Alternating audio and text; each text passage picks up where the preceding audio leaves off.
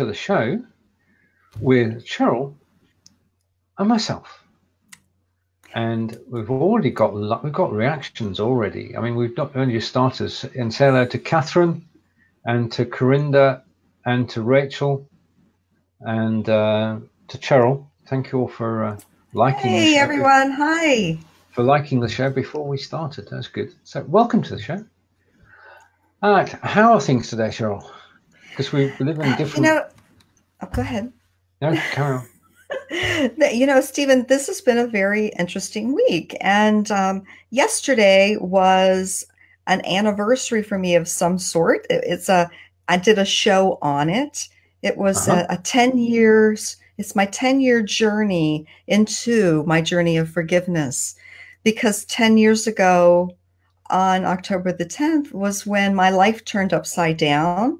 And my husband at the time decided he wanted a divorce and I I kind of I talked about that yesterday, being that 10 year moment of sharing that with people out there that are having those type maybe they're in the thick of it right now. I don't know, but I really wanted to put that out there. So it, that was a good week for me to talk about that and share to help others. Uh, indeed, there are moments in our life which which are turning points and it's basically when something happens. My wife was, um, well, I was married for 24 years, and my wife left us in 1999, and I couldn't talk about it at all for uh, for seven years, um, because you, you're in shock. Whatever people say, there's nothing you can do. It's just your your you come to terms with it over a period of time, and you can't actually rush it. Um, so yes, uh, I can empathise on the situation. And um, right, shall we get to to today's topic? Because we're not here to. Because you said you covered the topic yesterday, and I uh, did. I just I just wanted to share that out for anyone that may be having that challenge. That that's out there for them to view if they would like to, because I know it's such a big, uh, it's such a big thing right now with people going through those life changing events. You know, just like you said, when you have a life changing event, boy, things are never the same again. And you need to figure out a way to move forward. So, yeah, let's talk about all the fun stuff we're going to talk about today.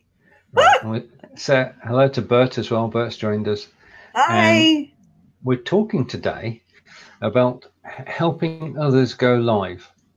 And uh, we'd like to start because it's it's an important thing because people are afraid of going live and there are ways that they can do it. We can help with the nerves and actually a lot of things as we're about to explain. Cheryl over to you.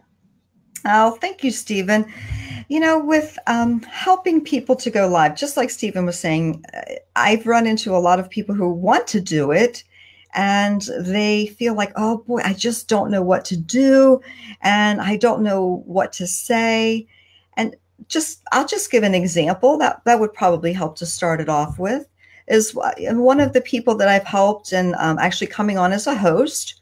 I mean, that's a way to help because it, as I come on with a host as a host with someone, uh, one of the businesses I did this for was uh, like a grill shop. You know, they sold grills different type gas grills, pellet grills, um, charcoal grills.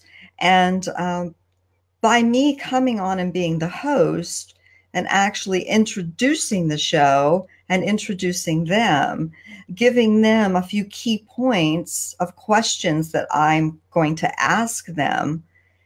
And then, you know, I kind of take the show out and do that call of action. It really they looked like pros. I mean, they were so comfortable. You know, they they just like they said that was so easy. You know, I'm sure hmm. you've had that experience, Stephen. Well, you, you can make a difference to how a show is perceived and how the people on it feel. Um, if you're actually running the show yourself, let's just go through this. If you're actually hosting and producing the show, then there are a lot of moving parts that you've got to keep your eye on. And first time it can be can be nerve wracking. So that is why companies uh, essentially bring people in to produce and host the show.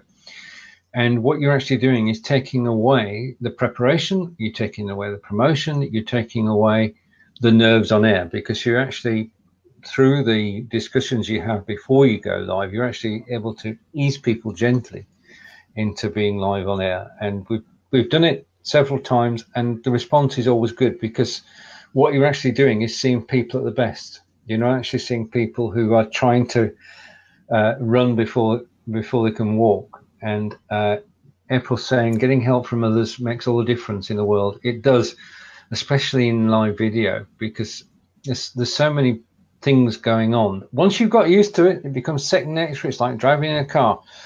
But uh, like anything, it's good if you've got a driving instructor who sat there next to you saying and helping you through it, showing the items on the agenda, showing the comments on the screen, and easing you through any panic uh, that happens. Because as you said, you can actually, I mean, I've done it both ways. You can actually host the show, in other words, you do all the introductions and ask all the questions, or you can just be the producer in the background. And the only the only people who know about you being there are the people in the show. The people in the audience have no idea until you get the byline at the end, which says produced by Cheryl Piper or produced by Steven Healey.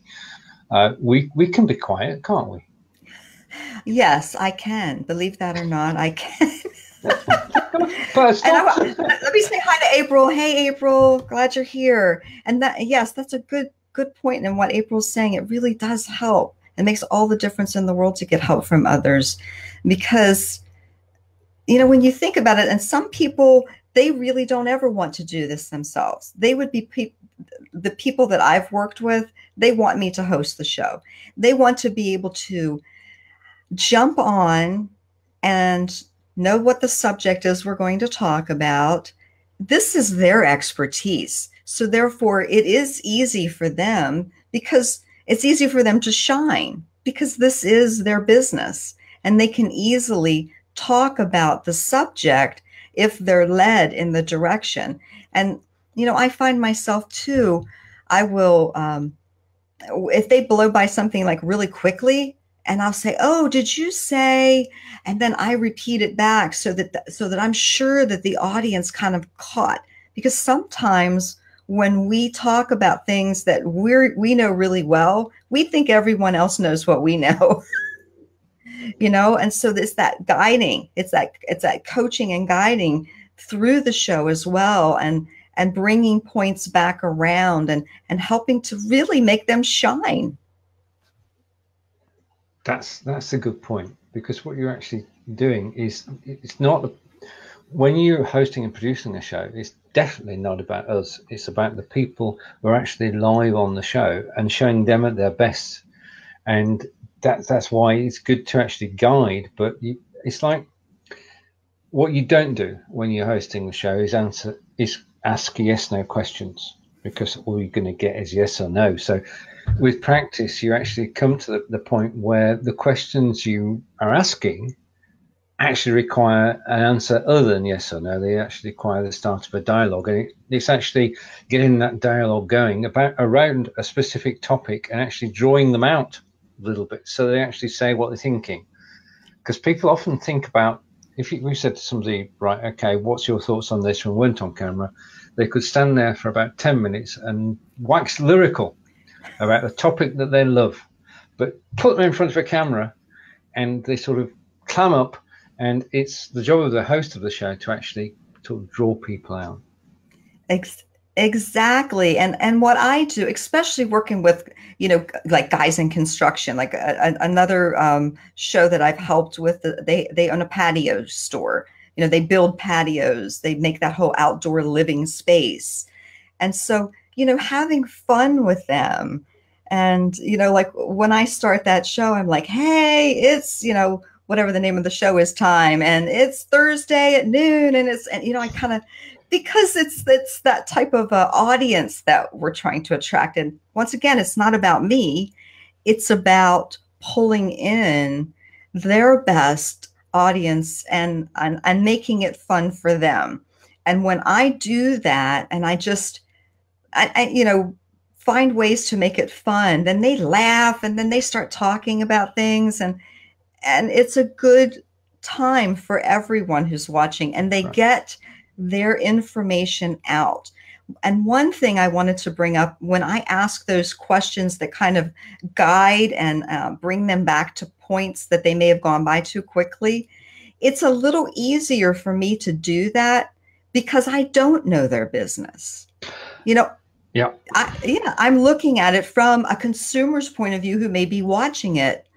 And so it looked like you wanted to say something with that. No, no, I'm, I was agreeing with you. I'm good. I'm good. Yeah, because it, I'm like, let's let's use the example these the patio store. I don't know anything about building patios. You know, I don't know anything about different types of stone and different types of mortar and different types of you know building out our fireplaces. I don't know about those things. And so, if our subject is creating a beautiful outdoor living space, that's the, that's the subject for the show. Well, you know, as we go through, I'm going to be asking questions as though I may be the client because it's going to pull more information from them that maybe they're not used to saying because they know their subject so well. Well, it's, it's true of anything, isn't it? You you know more than you think you know and it's it's drawing out the hidden knowledge uh, that that actually brings everything to life and answers people's questions. And if you're asking questions that people in the audience would have asked, then uh, that's ideal.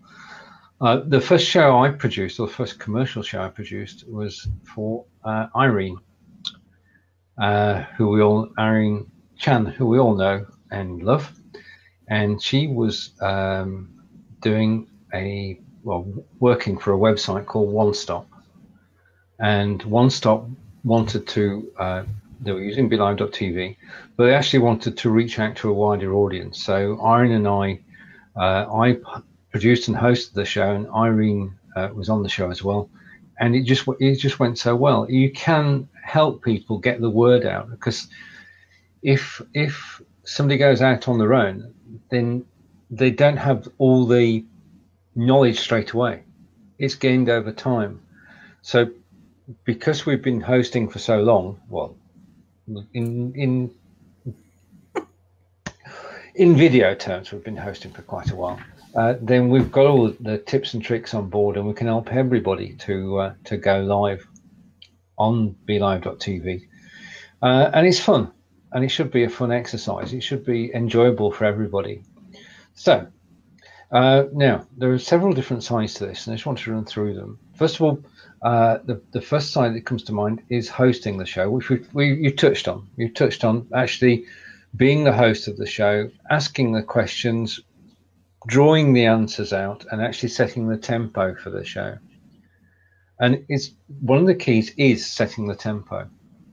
If you have a show where everybody is downbeat then you can't hope to have an upbeat and excited audience.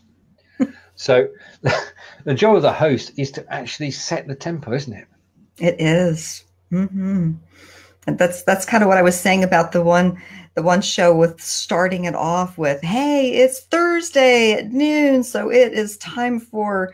You know, it's starting that off with that excitement, and then you know, then the guys were all excited and they're ready to talk, and it's just it's just setting the tone, just like you said. Indeed. Now, the second element is the production side. Now, BeLive TV is straightforward to use, but it does take some practice, doesn't it, to actually it produce does. a show that looks like a show. Yeah. Yes, it it really does. I mean, there. Uh, I know when I when I first started, well, thank goodness for you, Stephen. I'm gonna I'm gonna throw, you know, some some beautiful uh, moments out to you because you have helped so many people to get started, and and I'm one of them. When I like I came in the BeLivers group and I had questions, and there you were, and it's it's just learning that process. It's it's not hard. It's just taking the time to learn it and get used to doing it and and bringing things up on the screen. Like right now you we brought production up on the screen and remembering to do that and not just talking and forgetting to bring up any of your agenda items. I mean i've done that. Oh yeah. Oh yeah. I mean, you, you you you get carried away in conversation. You think i mean we did the show last friday uh, together on, on Five Days Live. And I had an agenda with 31 items in it, which is overkill, total overkill. But every so often, as you were talking with Brigetti, uh, topics came up and I was able to put those on screen as they were relevant. Uh, so yeah, I mean, it's a big part of, of actually producing the show is to actually highlight what's showing, because, and this is one of the reasons for doing it, um, is that if I put the title production and you actually happen to be on Facebook and you wander by, then you will know we're talking about production. Yeah, if it goes through, yeah. So the the titles and the agenda are important.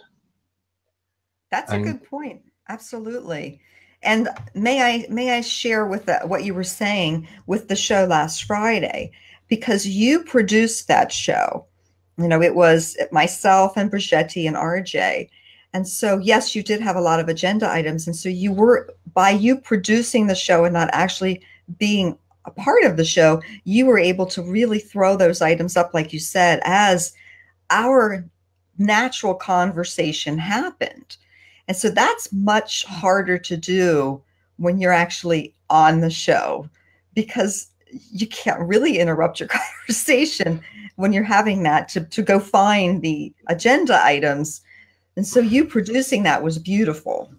Thank you. Oh, thank you. It was a, a joy to be there. It was a learning experience. It was just a very enjoyable show to actually be part of. And uh, it, the magic happened because the three of you were, got on so well and uh, the discussion got going and it covered a wide range of uh, topics which were pertinent to uh, promoting the shows.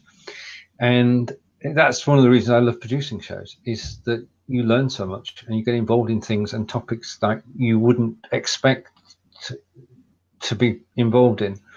And sometimes the topics can take you by surprise. Uh, I'm not going to well, I'm going to mention a show I did two hours ago uh, with Linda West, and Linda brought three topics with her, and I put them on the agenda. And the first topic was makeup, and I thought, well, I don't know anything about makeup, so I sat quietly in the background, produced the show, while while uh, Linda was in in the front. Um, so yeah, the the actual production of the show is an important element because producers producers should be heard and not seen, and the only people who should hear them are the people who are actually on the show. Um, and actually doing it is is uh, it's a skill. It's a learned skill. It's I mean, given the the dedication to it, you can learn to do it. And you can learn to do it efficiently on your own show, and then you can transfer those skills to producing shows where you've got a guest because that's that's the challenge. Having a show with a guest is a challenge because you're listening to your guest, but at the same time you're keeping an eye on what people are saying. You're keeping an eye on the agenda. You're keeping an eye on the time. Uh, you're wondering when to bring photographs in or whether to share the screen. It's just yeah. So production. Exactly. That was my show two hours ago as well. I I do a show where I co-host with a friend of mine, and we have a new show called Messages of the Heart. And so, yes, I'm working trying to do this whole production and making sure that you know the agenda items are coming up or the scroll call to action items are coming up while she's talking i you know i have images i wanted to show that i had ready to show well she started talking about one one of the things that i had an image on. And so i just put it up while she was talking and it just you know led right into what she was saying. Then i brought her and i back on screen and it, it just made it um it was a little more enjoyable, I would feel, for the audience to be able to have that image showing that I mean it was right there ready and she started to discuss it. I brought it up yeah. then I brought it down and and it, it, does take that practice in in doing that it does. And say hello to Corinda. And, Hi Corinda. uh, it's good to see you Corinda. Um, yeah I mean the, the thing is that if you if you're going to have a successful debut show and you're going to just come on live and you're just going to talk to the camera and tell your story, then to have somebody in the background doing the production makes it a lot easier than trying to do everything right at the beginning. Um, and in terms of uh, what a producer needs to know about the show, we've got uh, well, let's let's make a list. You, you, if you're going to have a show produced, you need to have the title of the show, don't you? And that's mm-hmm. important. Yeah. Getting yes. the right title. Getting the right title for the show. Oh, and, and making sure that that title is going to draw people in, that it has, it's exciting enough and enough enough teaser information to make them go, hmm, I think hmm. I want to check that out. Yeah. And did, so I totally agree. And then the second part is the actual description, the text that's going to go above the video, again to attract people in, isn't it? But it's, it's a little more than that. It's um, go ahead and explain, Stephen. Right. Okay. Basically, if you're going to run a show and you're going to run it on Facebook and you want to attract people, as Linda said, sorry, Charles said you need a, a time. I knew that was going to happen, Charles. My apologies. It's okay. Um, it was the whole makeup thing. It was the whole makeup. oh yeah, it's thrown me totally.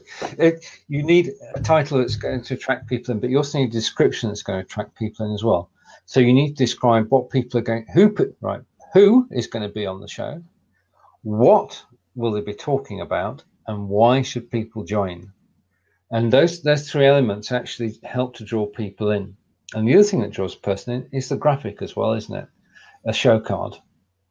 Yes, letting people know what's happening on the show. Who is it? What's it about? What are we going to be talking about also on the show card and making it attractive, an attractive image, which by the way, super easy to make in canva.com. You know, I know I know pro- promotion was one of the things that we were going to talk about as well, but that, you know, you know, easy to make in canva.com. And, um, but it's very important to be able to give people enough information to make them want to, to tune in, whether it's live or on the replay, to have them tune in for the show. And that brings us neatly on to promoting, which you mentioned. And this is the difference between make or break, isn't it? Uh, because if nobody knows about your show, then nobody's going to watch it. So you do have to promote it. Which how do you promote your shows? Shows. Well, you know, I have several different hubs that I'm cross posting with, and so that that helps. I have an actual just a checklist that I really go down when I'm getting ready to, you know, produce and uh, promote my show. So I'm going to create the graphic. And like I said, using canva.com, really easy. I have templates in there. Like if I have a guest, I have a template. All I have to do is change out the picture, change out the name, change out what this is about, and I'm I'm finished. It's it's I don't have to create a whole new show card that's sitting there waiting for me, which that makes it very easy. And um, creating a video. Sometimes I create a, a Lumen5 video, sometimes I don't. It really depends on how I'm going to be promoting. And just really getting that out there. Using these hubs, your hub is one. I have a hub as well, mm-hmm. and then yep. a few others that I'm, uh, and then I'm cross posting with a few people, and so they they allow my show to come across their business page and one thing I'd like to say here that's really important is what you were talking about with the description. Because if you are cross promoting with someone else's business page, mm-hmm. yeah. it really looks like it's their show as it comes across. And so that description in stating clearly that this is heart mind conversations with Cheryl Piper you know, lets people know that maybe just because it's running across, say, Stephen's page, that's just an example. I don't run across your page, but um, that people wouldn't think, oh, this is Stephen's show. It says clearly in that description, this is heart mind conversations with Cheryl Piper, and it's gonna it's gonna run on your page, but that it's a different show. So letting people know so there's no confusion.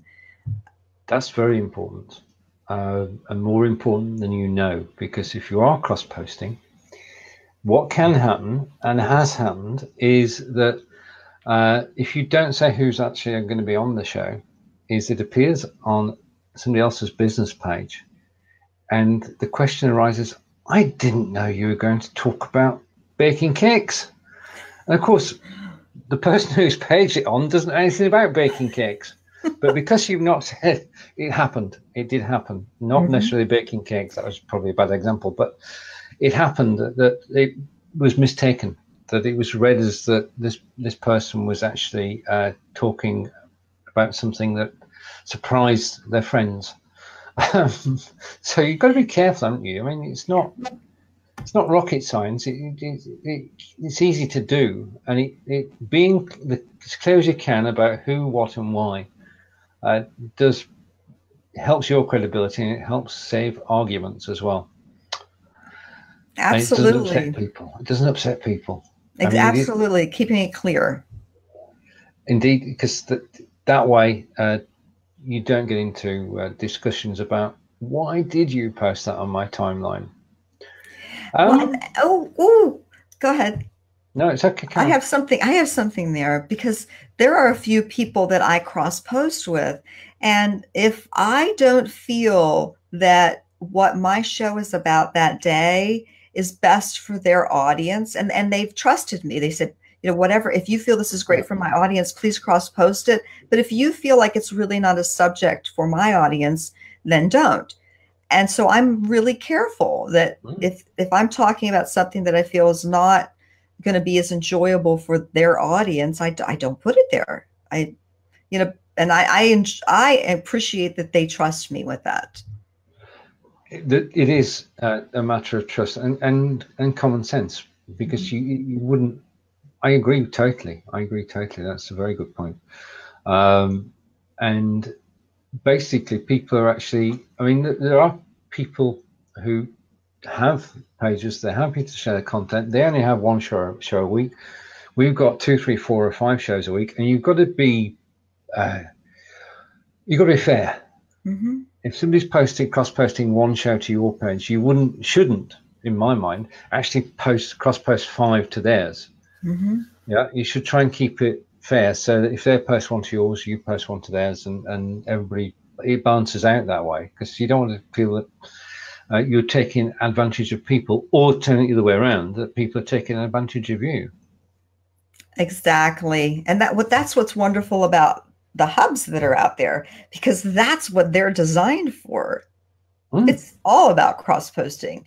You know, the live video hub, my video hub connection, you know all of these are designed specifically yeah. for that so i just open it up to people whatever you want to post there that's fine that's what it's designed for and there's no there's, there's no problems in that respect um okay nailing um so we have discussed today uh helping others to go live with Cheryl Piper and Steven Healey and um, we've talked about hosting and production and about promoting.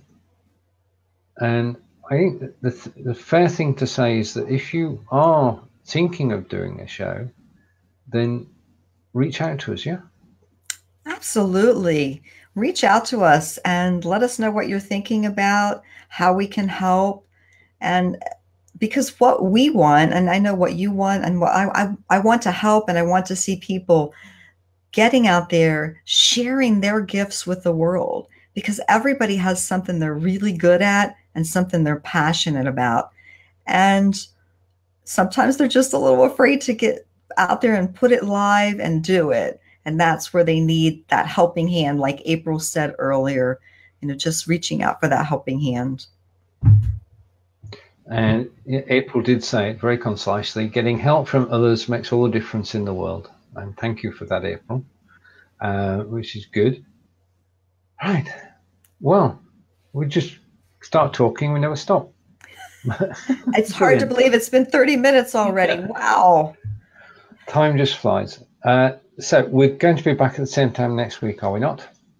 Uh, I want to say yes. I'm traveling because I'm doing workshops all uh, right. Okay. Throughout the week next week. Do you want, if you want to take if you want to take a week off, I, am good. I, I think we may be good to take a week off because I'm not right. really sure how my camera's going to be, right. how my lighting's okay. going to be, and I'd feel better in my own studio. Oh yeah, it's all good. It's all good. Um, so we'll be back in two weeks' time at 1 p.m. Eastern, uh, we'd like to close the show, Cheryl, and then we'll.